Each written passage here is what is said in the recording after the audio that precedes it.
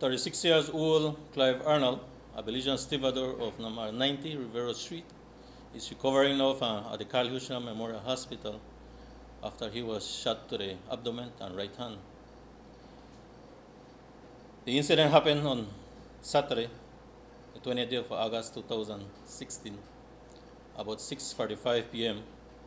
Clive Arnold was walking on Rivero Street heading home from the direction of Kraal Road when he heard several gunshots.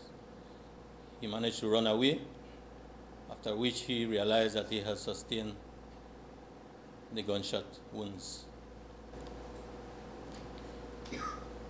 In terms of your investigation into the matter, have you guys been able to determine a motive? Can you ascertain whether he was in fact the target of this particular hit?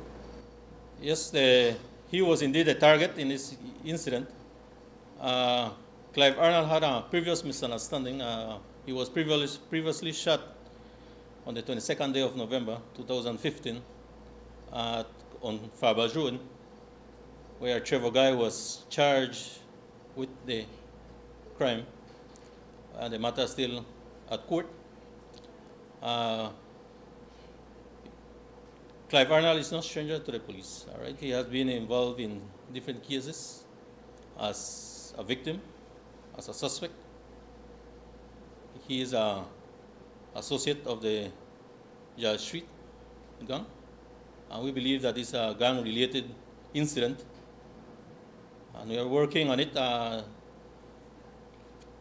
the investigation at this time is premature, all right, and we believe that with the assistance of the, of the public, we could uh, probably get somewhere. Clive Arnold did not have an opportunity to look at the direction of the gunshots coming from. So his testimony is not good at this time.